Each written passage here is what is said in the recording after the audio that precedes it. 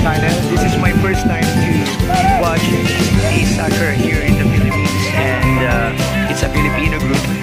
Are you, this one is a new one, right? No. It's a new group uh, here in the Philippines and uh, most of them are not like Filipino but they are Filipino members.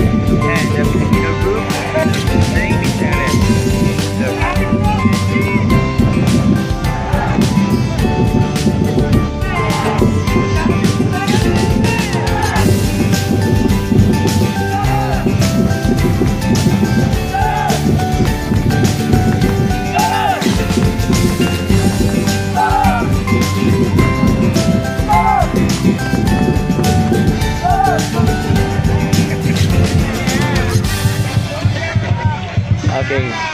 So guys, actually didn't know kung ano tong laro na to pero exciting siya. Nakakatawa. Wow, as in talaga puro ba.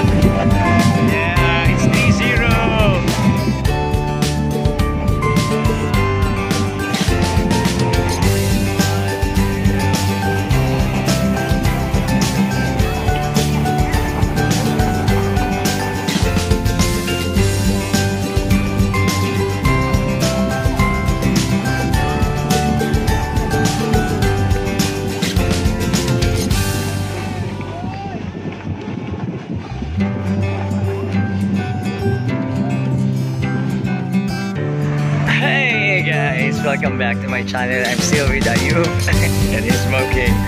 So, uh, grabe, first time ko lang makapunta sa isang uh, soccer game dito sa may Rizal Stadium. Grabe, salamat nga pala Sean at sa nagbigay ng ticket na yon. Maraming maraming salamat kasi na-experience yun for the very first time. And you know what guys, ang galing parang nanonood ng basketball, ng volleyball. Yung intense nandun habang uh, pinapanood. Tapos uh, syempre mga Pilipino din yung mga lumalaban. Nakakatuwa kasi alam mo parang hindi linya ng mga Pilipino ang soccer pero you know they trying uh, their best. They give and they actually they gave their best. So it's like 4-0 ang score for the Philippines here sa Cambodia. Nakakatuwa. So uh, next time maybe bigyan ulit kami ng ticket and uh, makapanood kami ng second game. Okay, salamat. Say bye-bye Ayub. Hi. Uh, this is not new to Ayub because uh, in Morocco there's a lot of soccer games. Bye. Don't forget to like, share, and subscribe.